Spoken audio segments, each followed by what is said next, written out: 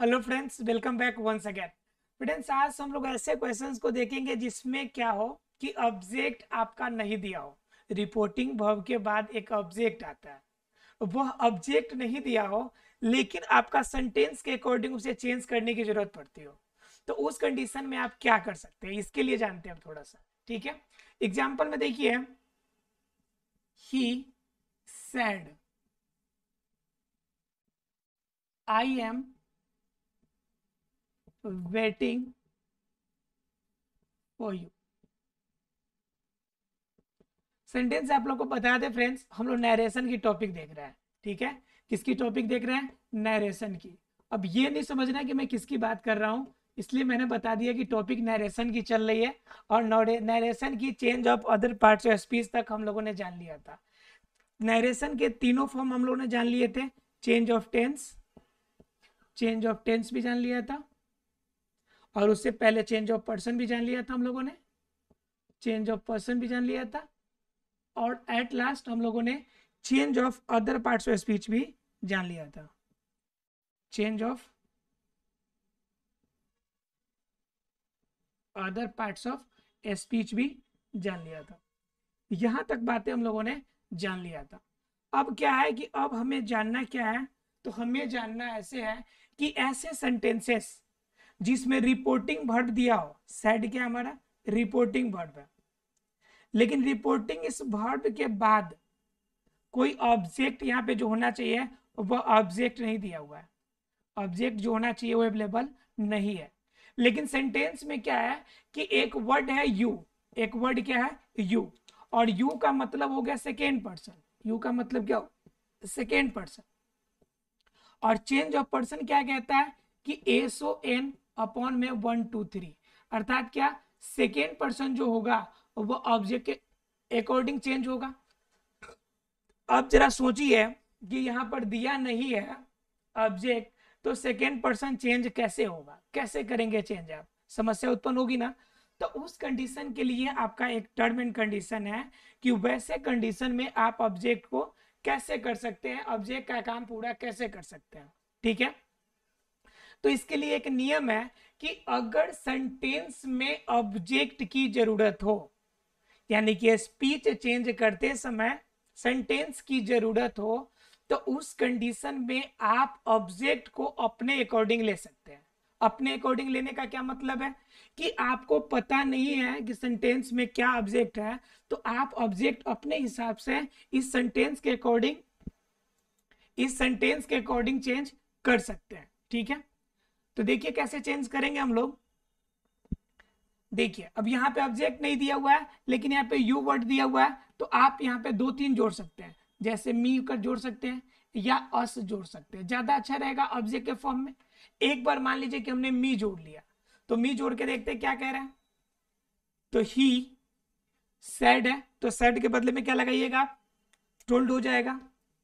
He told और मी लगाते हैं तो मी इन्वर्टेड कॉमा के बदले में डेट का यूज़ कीजिएगा और पर्सन चेंज कीजिएगा तो आई के बदले में किसका यूज़ कीजिएगा? फ़र्स्ट पर्सन है।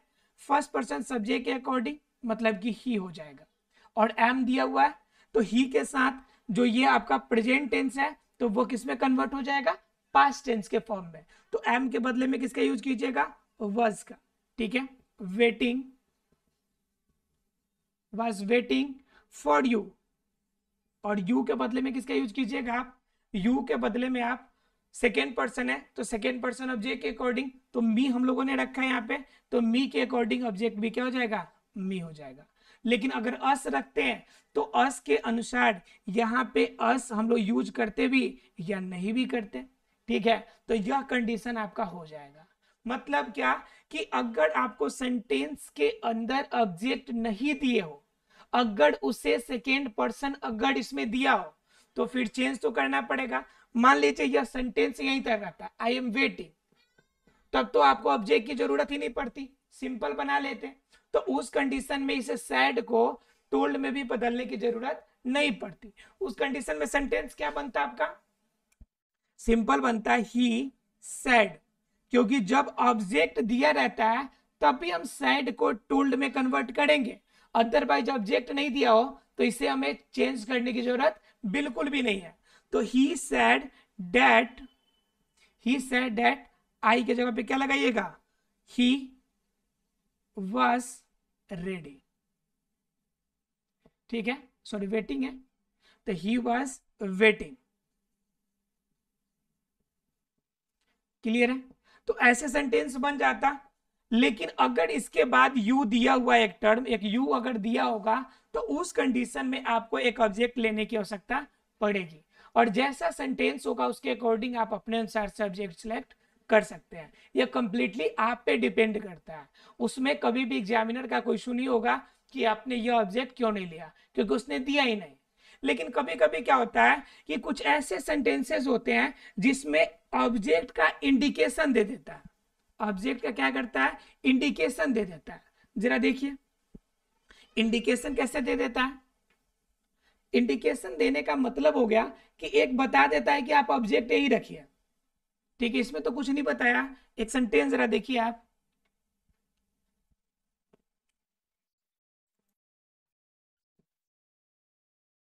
एग्ज़ाम्पल देखिए he said he said Raju he ही कुछ सी कर देते हैं। She said, Raju I want to marry you I want to marry you अब देखिए, इतना अच्छा प्रपोजल इसके पास राजू के पास बेचारा ये बकलोली होगा कि एक्सेप्ट नहीं करेगा। क्या कह रही भाई? एक लड़की कह रही है, she said, Raju inverted comma में Raju I want to marry you मैं तुमसे शादी करना चाहती हूँ। सीधी सी बात है भाई, इतना अच्छा ऑफ़र एक्सेप्ट कर लेना चाहिए। अब इस कंडीशन में यहाँ पे ऑब्जेक्ट नहीं दिया हुआ है, लेकिन यहाँ पे लास्ट में यहाँ पे यू दिया हुआ है सेकेंड पर्सन क्या दिया आपका यू सेकेंड पर्सन अब यहाँ पे बात हम भी हमने बताया कि ऑब्जेक्ट ऐसे सेंटेंस में ऑब्जेक्ट आप खुद से ले लीजिए। लेकिन क्या है कि यहाँ पे इंडिकेशन हो रहा है कि बात मामला किससे कह रहा है? राजू से ही कह रहा है, ठीक है? तो कंडीशन जब ऐसा हो, जब इंडिकेशन हो जाए कि मामला ये किसके साथ है तो उस कंडीशन में उसी को आप ऑब्जेक्ट बना लीजिए। ठीक है? यानी राजू इंडिकेशन में दिया हुआ है, भले यहाँ पे ऑब्जेक्ट के फॉर्म में इस्तेमाल नहीं हुआ है, लेकिन बात किसको डिनोट करके कह रही है? राजू को डिनोट करके कह रही है, ये ऑफ़र आपके लिए नहीं, बल्कि राजू के लिए है। तो उस कंडीशन में आप ऑब्जेक्ट किसको सिलेक्ट करेंगे? राजू को। ही सॉरी सी है। हालाँकि सुप्रीम कोर्ट ने मान्यता दे दिया कोई इशू नहीं है ही भी रह सकता है। ठीक है? तो सी टोल्ड राजू। ठीक है? She told Raju inverted comma के बदले में डैट का यूज़ कीजिएगा। और आई अब एक और बात समझिए कि यहाँ पे जब ऑब्जेक्ट के रूप में राजू ले लिए, तब ऐसा नहीं कि इस सेंटेंस में भी राजू को वहीं पे रहने दीजिएगा। राजू यहाँ से ट्रांसफ़र होकर यहाँ पे ऑब्जेक्ट के फॉर्म में आ गया। तो यहाँ से राजू को रखने की ज़रूरत नहीं है, बल्कि राजू यहाँ से साइड हो जाएगा। ठीक है? उसके बाद आई फ़र्स्ट पर्सन है तो फ़र्स्ट पर्सन सब्जेक्ट के अकॉर्डिंग तो सब्जेक्ट के अकॉर्डिंग हो जाएगा सी और वांट है। और ये सिंपल पास्ट है सिंपल प्रेजेंट है तो सिंपल प्रेजेंट किसमें कन्वर्ट होता है? सिंपल पास्ट में। तो आई सी आई वांट है तो सी वांटेड हो जाएगा। क्या हो जाएगा? सी वांटेड ठीक है? टू मैरी अब किससे करने को चाह रही भाई? राजू से। तो राजू एक क्या हो गया? राजू एक नाउन है। और राजू नाउन है तो इसका प्रोनाउन क्या हो जाएगा? ही हो जाएगा। और ही का ऑब्जेक्ट फॉर्म में लिखना है हमें तो ही का ऑब्जेक्ट क्या होता है? हिम होता है। तो यहाँ पे क्या हो जाएगा? टू मैरी हिम क्लियर है आप लोग को? तो यह सेंटेंस आप ऐसे बना सकते हैं। अगर इंडिकेशन दिया हो तो इंडिकेशन का यूज़ करेंगे। तो देखिए, यहाँ पे तो क्लियर हो गया कि ऐसे सेंटेंसेस में जब भी दिए होंगे ऑप्शन तो उसके अकॉर्डिंग आप यूज़ कर लीजिएगा। एक और सेंटेंस देख लीजिए इस पे। इसी पे एक और सेंटेंस देख लीजिए। कभी कभी क्या होता है कि देखिएगा, जब बड़े बड़े भाषण देने के लिए आते हैं बड़े बड़े लोग सब, या फिर आपने कुछ अच्छा काम कर दिया, पहले ये बात समझ लीजिए, कुछ अच्छा काम कर दिया। अब उसी सेंटेंस में आपका जो ऐसे ऑब्जेक्ट मैंने बताया कि राजू को ऑफ़र मिला, ऐसा ही कुछ मामला हो जाता। है जैसे मान लीजिए कि आपके पापा ही कह रहा मान लीजिए कि आपने कुछ अच्छा काम कर दिया तो पिताजी पिताजी आपको बोलते हैं, क्या बोलते हैं?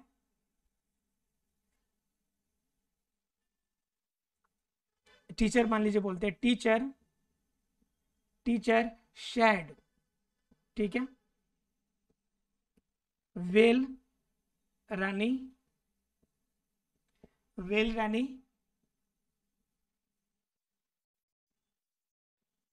you can achieve your goal. You can achieve your goal.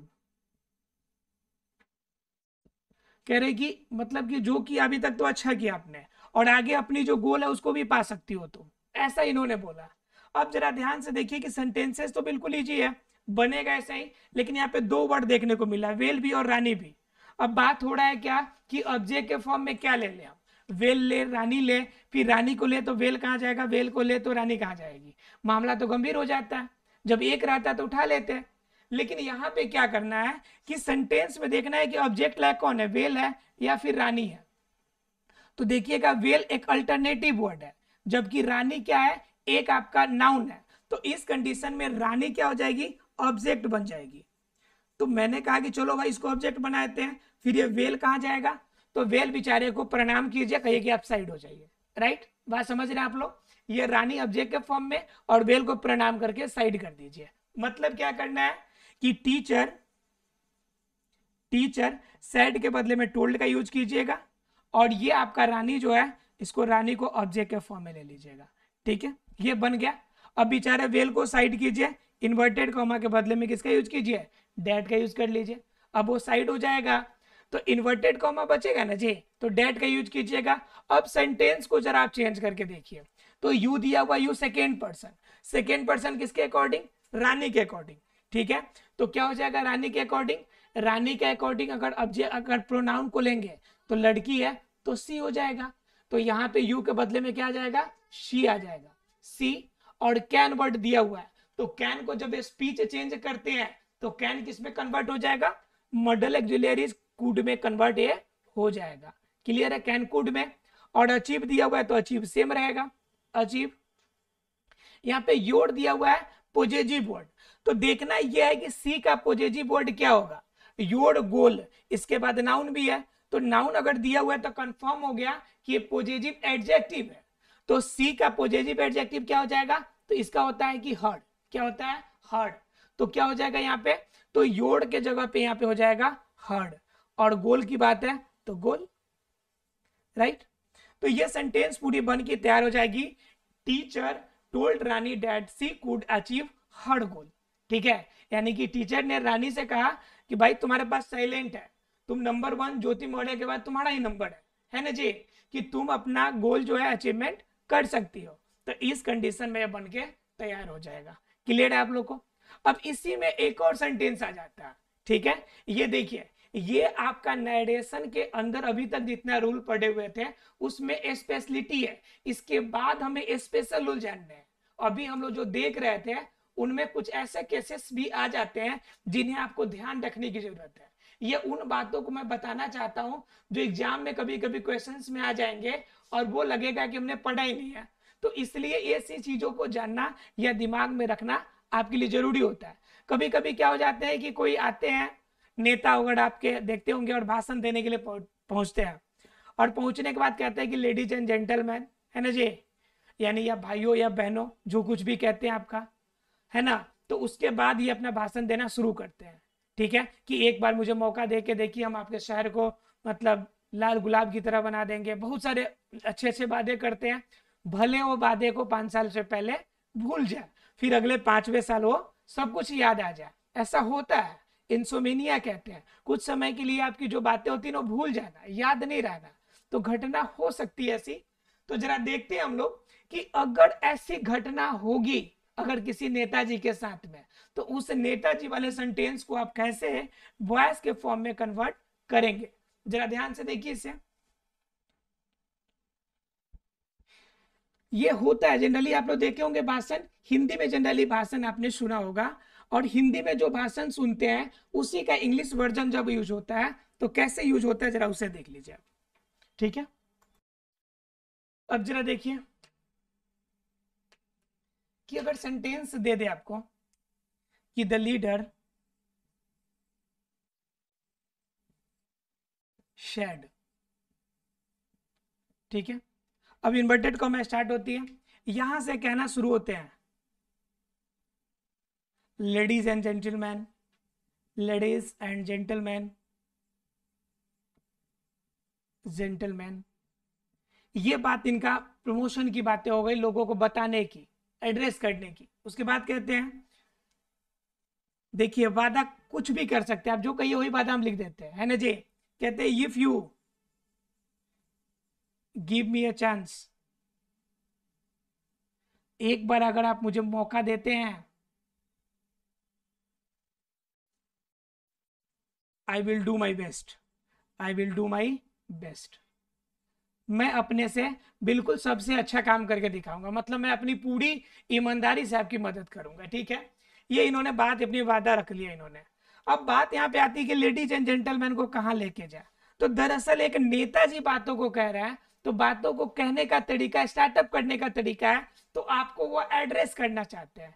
तो ऐसे सेंटेंस में शुरू में लगा देते हैं एड्रेसिंग ठीक है? अब जरा बताइए कि लेडीज़ एंड जेंटलमैन किसको कह रहे हैं? आप ही लोगों को कह रहे हैं? तो जो ऑब्जेक्ट होंगे, उसी चीज़ की बात करेंगे। तो ऑब्जेक्ट इसमें कौन है? पीपल है। लोगों की बात कर रहे हैं।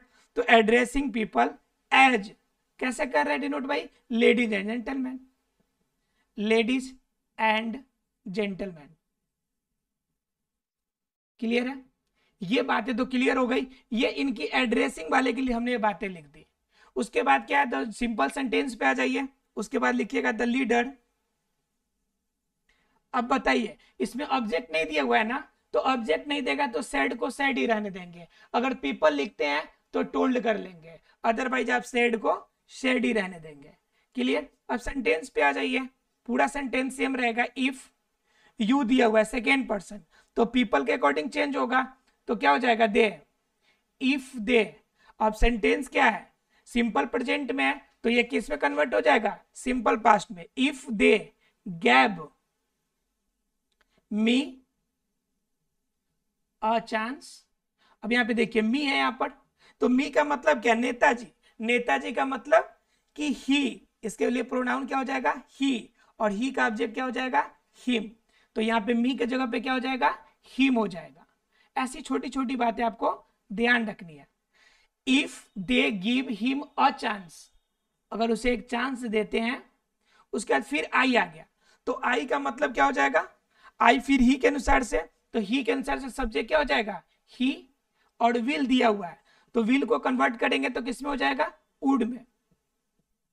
एक बात ध्यान रखिएगा आई के साथ मैंने विल का इस्तेमाल किया है। इसका मतलब कि एकदम जो कह रहा है, एकदम सच बात है। एकदम ऐसा करेंगे ही नहीं, ना करेंगे ऐसा कोई चांस ही नहीं है।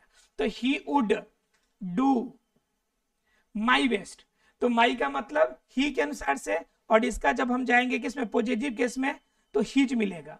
ठीक है? तो क्या हो जाएगा? डू हिज उसके बाद बेस्ट सेंटेंस को आप ऐसे बना सकते हैं आसानी से। क्लियर है?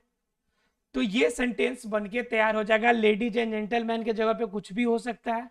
भाइयों, बहनों, कुछ भी आपका जो भी देंगे, उसको एड्रेसिंग के साथ में आपको लास्ट में लिख देना है। एड्रेसिंग पीपल अगर बच्चों के साथ अगर कोई टीचर कहते हैं, अगर कोई टीचर कहते हैं तो एड्रेसिंग वो बच्चों को कहेंगे तो addressing children as my dear students addressing children as my dear students अगर कोई टीचर ऐसी बातें कहते हैं तो आप लिख सकते हैं कि बच्चों को डिनोट करके कैसे डिनोट कर रहा है? तो my dear my dear students यहाँ पे हो जाएगा, उसका जो सेंटेंस होंगे, उसे नॉर्मल तरीके से आप बना सकते हैं। आशा फ्रेंड से क्लियर हो गया होगा। फिर भी अगर कोई डाउट रह रहा है तो आप हमें कमेंट सेक्शन में ज़रूर बताएँगे। मिलते हैं अगले क्लास में, तब तक के लिए thank you very much friends